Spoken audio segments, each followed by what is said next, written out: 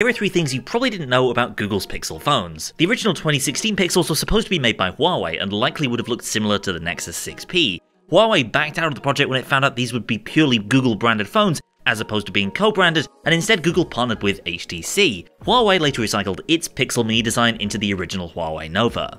There was a secret version of the Pixel 2 XL that stayed under wraps for years. HTC was working on a Pixel 2 XL that was basically a larger version of the small Pixel 2. Eventually, Google opted to go with LG's design with slimmer bezels, with the HTC version only being known about because of references in the Android code. But in 2021, YouTuber Hikari Calyx unearthed an early unit of this very special Pixel 2 XL and uploaded footage online. There was also a version of the Pixel 5 that never saw the light of day. First revealed by Jon Prosser in early 2020, this version had a weird face-like camera module with three rear cameras and would have included traditional high-end specs.